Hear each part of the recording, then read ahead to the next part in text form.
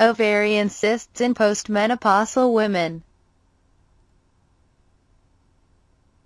After menopause, ovarian cancer risk increases. This is why all postmenopausal ovarian growths are carefully checked for signs of cancer.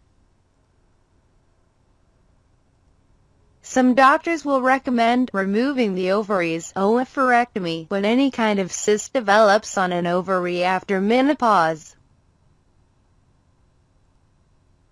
But the trend in medicine seems to be moving away from surgery for small and simple cysts in postmenopausal women. In the five years after menopause, some women will still have functional ovarian cysts now and then.